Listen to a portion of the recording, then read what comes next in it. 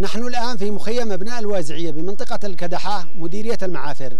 مع إخواننا النازحين من أبناء الوازعية الذين يعانون الأمرين وخاصة في شهر رمضان المبارك.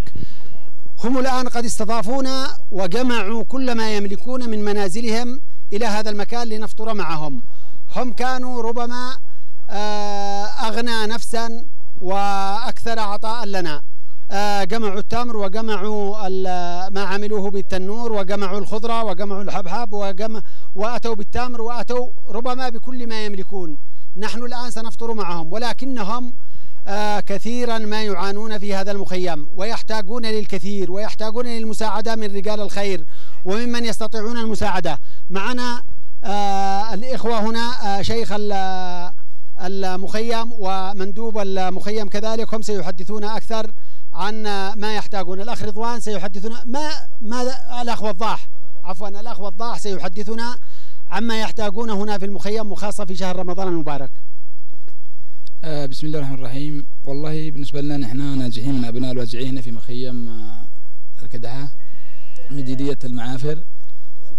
آه نعاني الكثير طبعا لأنه العمل ما فيش و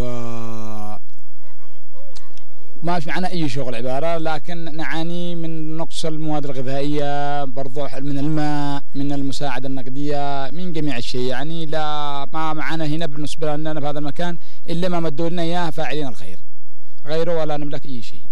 طيب طيب وللعلم. فهذه الخيام كلها بلا إضاءة بلا مياه بلا لا يملكون شيء يعيشون في الظلام وينامون ربما من بعد صلاة العشاء.